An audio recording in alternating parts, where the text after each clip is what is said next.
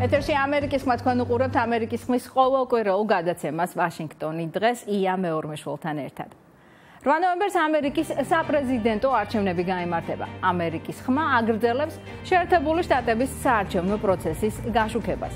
დღევანდელ გადაცემაში რამდენიმე შტატზე მოგითხრობთ, რომლებსაც მომავალი პრეზიდენტის არჩევაში გადამწყვეტი როლი ექნება. ასევე გაგაცნობთ რა კავშირია ეკონომიკურ მდგომარეობასა და პოლიტიკურ შეხედულებებს შორის. დააგემოვნებდით თუ არა რობოტის მიერ მომზადებულ პიცას.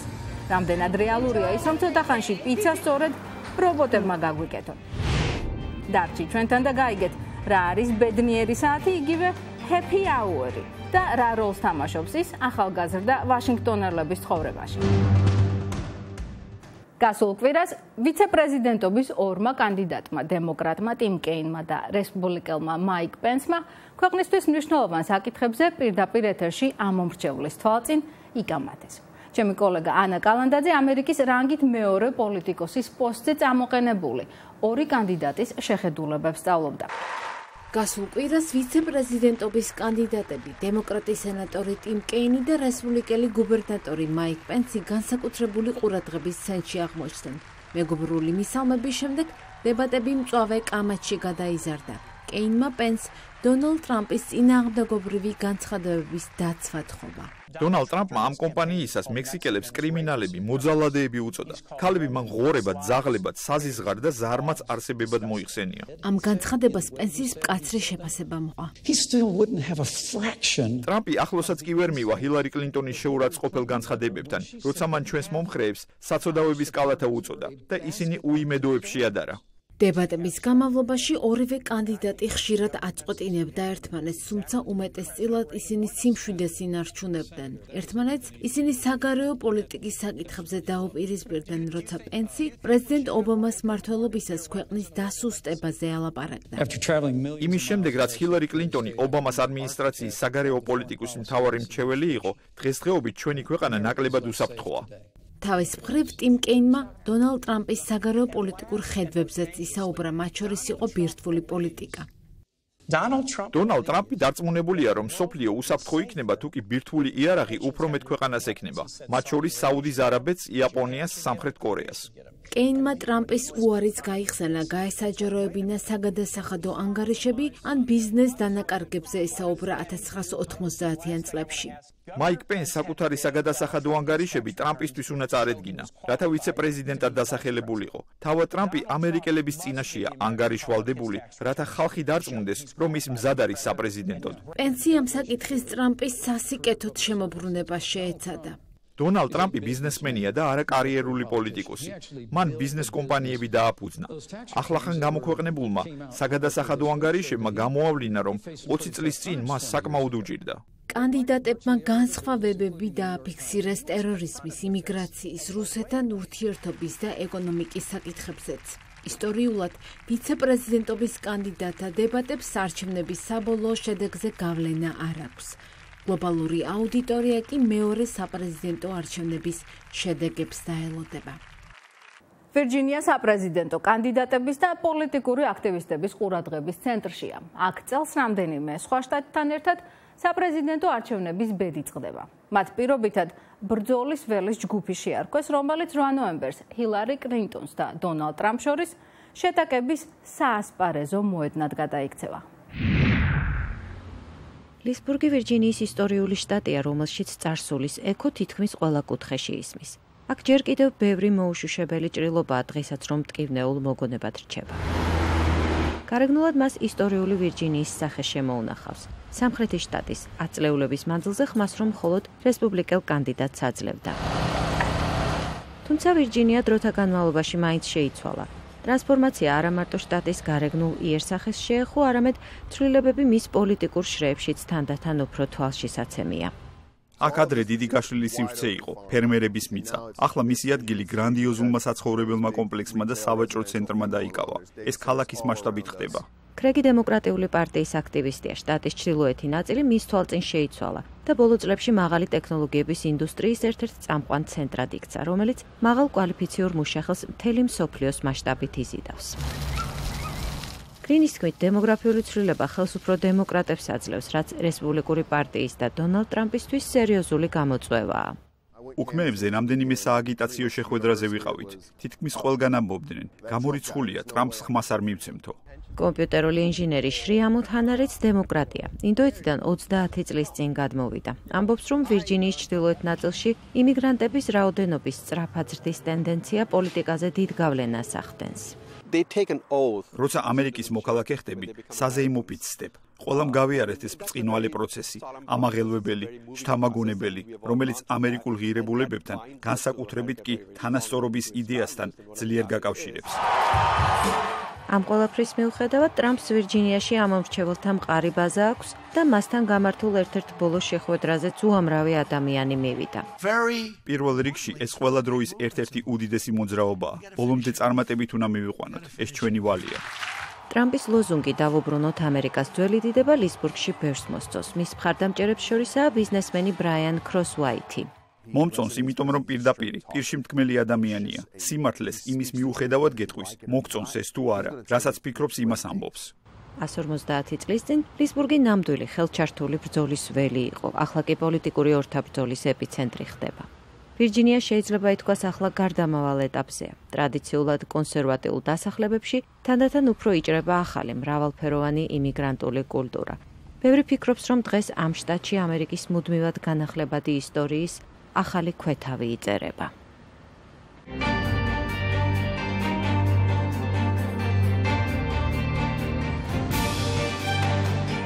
ნოემბრის საპრეზიდენტო არჩევნებზე ამომრჩევლის მამოძრავებელი ერთ-ერთი მთავარი თემა ეკონომიკა იქნება. მიუხედავად იმისა, რომ ბოლო ანგარიშების მიხედვით ამერიკაში მეტი ადამიანია დასაქმებული და მათი ხელფასებიც იზრდება, ბევრი მათგანი ამბობს, რომ ეკონომიკური ფონი მათ ყოველდღიურ ცხოვრებას კიდევ უფრო ართულებს. ეს დენის ალბერია, ყოველთვიური გადასახადების დასტით. ალბერი 98 წლის დედასულის, წამლების და სურსათის საფასურის ზრდის მიუხედავად არ გაზრდილა ოჯახის შემოსავალი.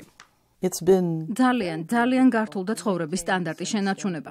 ჩვენ ეს ვერ მოვახერხეთ. ზოგიერთი ავტორი ამბობს, რომ ეს ომია საშუალო კლასის წინააღმდეგ. ბოლო კვლევების თანახმად 2007 წლიდან მოყოლებული ამერიკული ოჯახების შემოსავალი 5%-ით გაიზარდა, თუმცა ალბერის ოჯახი ამ ამერიკელებს შორის არ არის. You used to have a bargain. ადამიანებს ჰქონდათ განცდა, რომ მათი ხელფასი ეტაპობრივად გაიზრდებოდა, მეტი შემოსავალი ექნებოდათ და ასე პენსიას დააგროვებდნენ. არ ამგონია დღეს იგივე განცდა ჰქონდეთ. I don't think it feels like that anymore. ეკონომისტები ამბობენ, რომ წლევანდელ არჩევნებს თანახლავს ერთგვარი ღალატით გამოწვეული ბრაზი იმაზე, რომ საშუალო კლასის შემოსავალი უცვლელი დარჩა, როცა მდიდრები კიდევ უფრო გამდიდრდნენ. The top 5% is still the only group that has completely returned. ცხადია, რომ შემოსავლის განაწილებაში უთანასწორობაა და ეს უთანასწორობა არის როგორც რასობრივ, გენდერულ, ასევე საზოგადოებრივ სხვადასხვა ჯგუფებს შორის. ბევრი ეკონომისტი შემოსავლების უთანასწორობას არაეფექტურ პოლიტიკას აბრალებს. ხარიბთა უფლებების აქტივისტი მარია ფოსკარინისი ამბობს, რომ ვაშინგტონი ბევრად დიდ თანხას ადამიანების ციხეში ჩასმაზე ხარჯავს, ვიდრე სიღარიბის დაძლევაზე. ეს რესურსების ფლანგვა. კოლევები დასტურდება, რომ ადამიანებისთვის საცხოვრებლის გამოყოფა უფრო ეფექტურია, ვიდრე მათი ქუჩაში ცხოვრების გამო დასჯა, რაც ამ ქვეყნის ბევრ ქალაქში ხდება. სწორედ ვაშინგტონის არაეფექტურობის გამო ბევრი მიიჩნევს, რომ ეს არჩევნები განსაკუთრებით მნიშვნელოვანია. პოლიტიკის ან ეკონომიკის თვალსაზრისით ძალიან უიმედოდ ვარ. არ მგონია რომელიმე კანდიდატი საშუალო კლასს ეხმარებოდეს.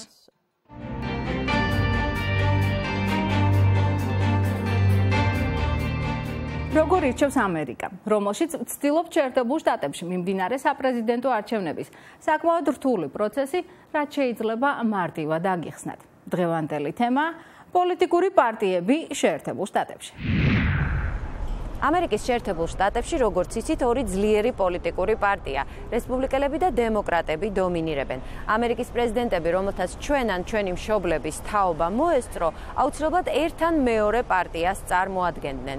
მაგრამ იყო თუ არა ეს ასე ისტორიულად? ყოველთვის არა. ამ ორი წამყვანი პარტიის ლიდერები ამერიკის პრეზიდენტები მხოლოდ 1852 წლის შემდეგ ხდებიან. მანამდე ქვეყნის მეორე პრეზიდენტი და ერთ-ერთი დამფუძნებელი მამა ჯონ ადამსი ფედერალისტი იყო. მესამე პრეზიდენტი და დამოუკიდებლობის დეკლარაციის ავტორი თომას ჯეფერსონი კი დემოკრატი რესპუბლიკელი. ზოგადად დემოკრატები უფრო მაღალ გადასახადებს ემხრობიან, რომ მეტი სამთავრობო პროგრამა დააფინანსონ. რესპუბლიკელები დაბალ გადასახადებს და შედარებით მცირე ზომის მთავრობას ამჯობინებენ. ისინი სოციალურ საკითხებშიც მეტი კონსერვატიულობით გამოირჩევიან, ეწინააღმდეგებიან გეების ქორწინებას და აბორტს და იარაღის ფლობის უფლებას იცავენ. აქ ვაშინგტონში მდებარე პორტრეტების გალერეაში ბარაკ ობამას გარდა ამერიკის ყველა პრეზიდენტის პორტრეტია თავმოყრილი. 53 ადამიანს შორის, რომელთაც ეს უმაღლესი პოსტი ეკავათ, მხოლოდ ერთი იყო უპარტიო. ეს გახდა ჯორჯ ვაშინგტონი, ამერიკის პირველი პრეზიდენტი, რომელსაც დამფუძნებელი მამა სიცოცხლეშივე შეარქვეს. მართლობის 8 წლის განმავლობაში ის არცერთ ფრაქციასთანაც კი არ ყოფილა ასოცირებული. დემოკრატები სამართლიანად ამაყობენ პრეზიდენტებით ენდრიუ ჯექსონით, ფრანკლინ რუზველტით და ჯონ კენედით. რესპუბლიკელებისთვის საამაყო პრეზიდენტები არიან აბრაამ ლინკოლნი, თეოდორ რუზველტი და რონალდ რეიგანი. ყოველს ჩამოთვლა შორს დაგვიყვანს. რესპუბლიკელების და დემოკრატების გარდა ამერიკაში ბევრი სხვა მცირე ზომის პარტიაა. ლიბერტარიანული, საკონსტიტუციო, სოციალისტური, მწვანეების და ასე შემდეგ. საპრეზიდენტო არჩევნებში უპარტიო დამოუკიდებელი კანდიდატებიც მონაწილეობენ, მაგრამ საუკუნეზე მეტია წარუმატებლად. ამერიკელი ამორჩევლების უდიდეს ნაწილს არც დემოკრატები და არც რესპუბლიკელები შეადგენენ. გალოპის მიერ ჩატარებული ბოლო კვლევის მიხედვით, ამერიკის მოქალაქეთა უმრავლესობა 53% თავს დამოუკიდებელ კანდიდატად მიიჩნევს. 29% დემოკრატია, 26 კი რესპუბლიკელი.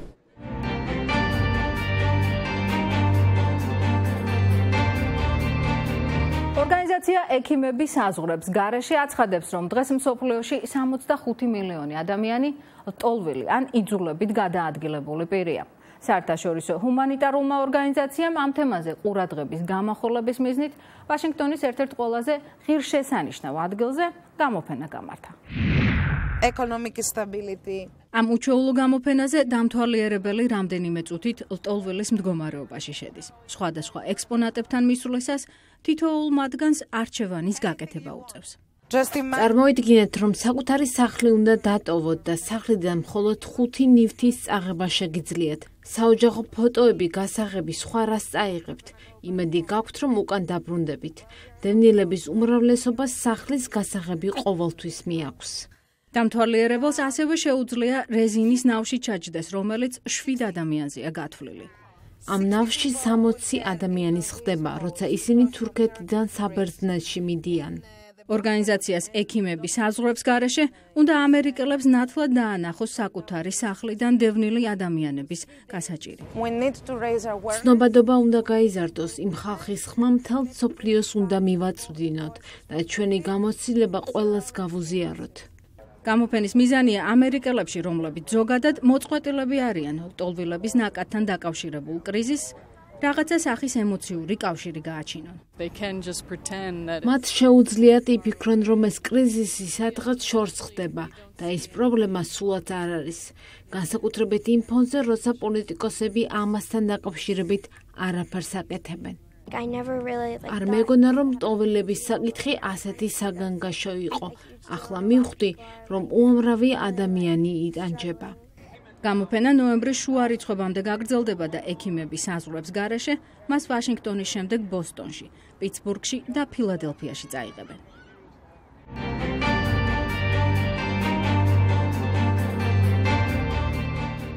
ძალიან მალე პიცის შეკვეთისა შეიძლება აღმოაჩინოთ რომ ის რობოტის მომზადებულია. ყოველ შემთხვევაში ამერიკის შეერთებულ შტატებში ბევრი ასე ფიქრობს. კალიფორნიაში გახსნილმა სტარტაპმა სახელად Zoom Pizza მუშაობა თავიდანვე რობოტების დახმარებით დაიწყო. მისი ხელმძღვანელები ამბობენ, რომ მათი მეთოდი გაცილებით ხარჯეფექტურია. გემოს რაც შეეხება რობოტის და ადამიანის ხელით დამზადებულ შორის გარჩევა პრაქტიკულად შეუძლებელია. კომპანიაში Zoom-Pizza ორი რობოტი მუშაობს. ერთი ტომატის საწებელს ყველს ზეხოლს თუ ბოსტნეულს თანაბრად ანაწილებს, მეორე მას ღუმელს შიდებს. განმეორებით მოძრაობებზე ნაკლებ დროს ვხარჯავ. ზეხვის დაჭრა იქნება ის თუ ყველის მოყრა. მსგავსი ფუნქციების ავტომატიზირება ვარჩიეთ, სამაგიეროდ ფულს და დროს მაღალი ხარისხის პროდუქტზე დავზოგავთ. Enjoy, have a great day. კლიენტებს მოსწონთ. It's delicious. It's always hot and fresh. ყოველთვის ახლად გამომწვარი ცხელია. სიმართლე გითხრათ, მე ვერ ვარჩევ რობოტის დამზადებული ეს თუ ადამიანის. ძალიან გემრიელია. ზუმის მთავარი სიახლის შესახებ ჯერ კლიენტებმა არაფერი იციან. მიმტან სატვირთო მანქანაზე 56 ღუმელია დამონტაჟებული. პიცა დამკვეთის სახლთან მისვლამდე ზუსტად 3 წუთით და 15 წამით ადრე გამოცხება. შინ მიტანის დრო კომპიუტერული პროგრამებითაც მცირდება, რომელიც პიცის სახეობას და მიტანის დროს ანგარიშობს. დღეს კიდევ ერთ რობოტს გაგაცნობთ, რომელიც კაფეში ბისტრობოტი მუშაობს. სენდვიჩს უკვეთავ და მე უყურებ თუ როგორ გიმზადებს მას ჩვენი სუპერმომხიბლავი ახლავი რობოტი. ის ბევრად სწრაფია, სუფთა, იაფი, დამჯერი და თან მის ყურებითაც ერთობი. კვების მრეწველობაში მსგავსი სიახლეები თანდათან უფრო იმკვიდრებს თავს, თუმცა ექსპერტების აზრით რობოტები ჯერ კიდევ დასახვეწია. კვლევები 50 წელია გრძელდება. პროგრესი გვაქვს, მაგრამ გამოწვევებიც მრავლადაა. რესტორნების თანამშრომლები შემიძლია დაუწყნარო. თქვენი უნარები ახლო მომავალშიც შეუცვლელი იქნება. უამრავი სამუშაო ისევ ადამიანის ხელით სრულდება. ცვლილებები მაინც გარდაუვალია, მაგრამ ეს არ ნიშნავს, რომ ადამიანი სამუშაოს დაკარგავს. რობოტები ადამიანის ნაცვლად რუტინულ განმეორებად რისკიან მოძრაობებს შეასრულებენ. ადამიანებისთვის განსხვავებული ახალი ტიპის სამუშაოები შეიქმნება, როგორიც აქამდე არ არსებობდა, ის რაც დღეს ხდება. სამსახურიდან შინ მოსულს რობოტი თუ ახალ ცხელსადელს დაგვახვედრებს, ეს არც ისე ცუდი იდეა უნდა იყოს.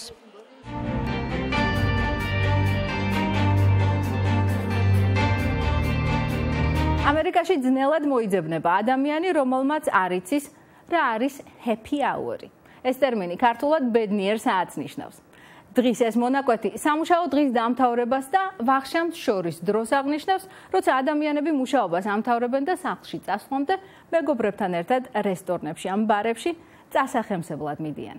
ამერიკის ხმის გადამღები ჯგუფი ვაშინგტონში რამდენიმე ასეთ რესტორანს ეწვია. ჩვენ იმის გარკვევა ვცადეთ, რატომ მოსწონთ ახალგაზრდებს happy hour-ი და როგორ უწყობს ამ ტენდენციას ხელს თვითონ რესტორნების ინდუსტრია. ერთი უდავო და ნამდვილი სიხარული მუშაობის შემდეგ დაშვენება, ასე ფიქრობდა გერმანელი ფილოსოფოსი ემანუელ კანი. იმისთვის რომ ამ დაშვენებით ისე ამოვნონ ამერიკელებმა ეგრეთ წოდებული ბედნიერი საათი, happy hour-ი სამუშაო დღის დასრულებისთანავე რესტორნები და ბარები კლიენტებს ალკოჰოლურ სასმელებზე ფასდაკლებენ. ბედნიერი საათი პირველად ამერიკის საზღვაო ძალების წევრებმა 1913 წელს მოიწეს.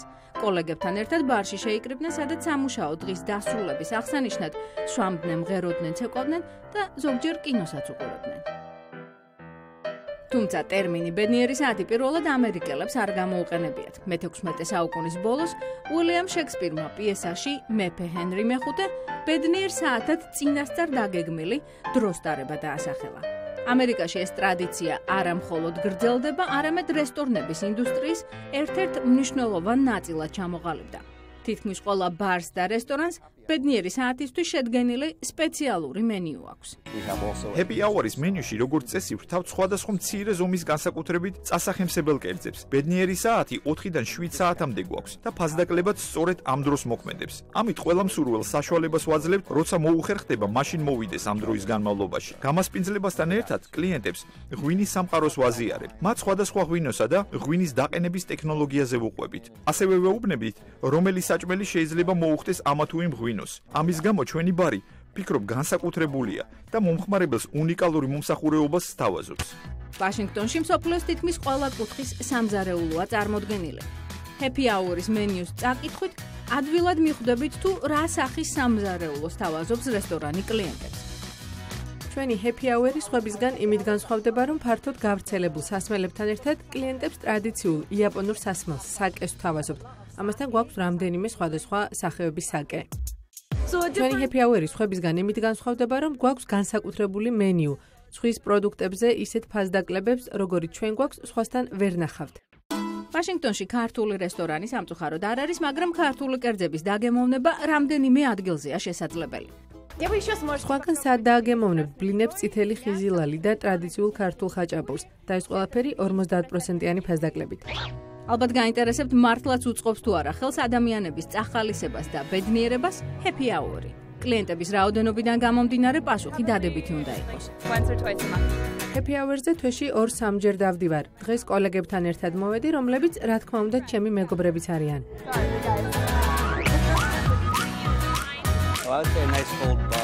happy hour-ზე კვირაში 2ჯერ 3ჯერ დავდივარ. როგორც წესი, უკვეთავ ცივ ლუცს და ჰამბურგერს. ჩემთვის ეს დრო ნამდვილად ბედნიერი საათია.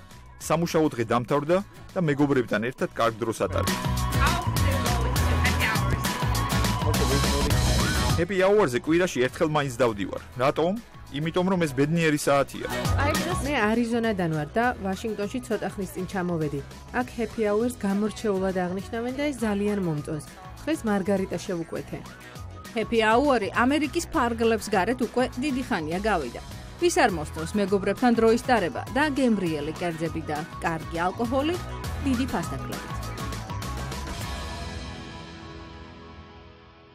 დღეისათვის სულ ეს იყო თქვენ უყურებდით ამერიკის ხმის ყოველკვირეულ გადაცემას ვაშინგტონი დღეს.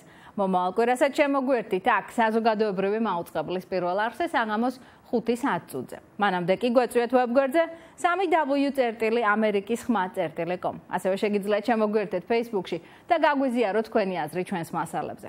ჩვენ ერთი კვირით გემშვიდობებით თქვენ კი გახსოვდეთ რომ ამერიკის ხმა ინფორმაციით სანდო წყაროა.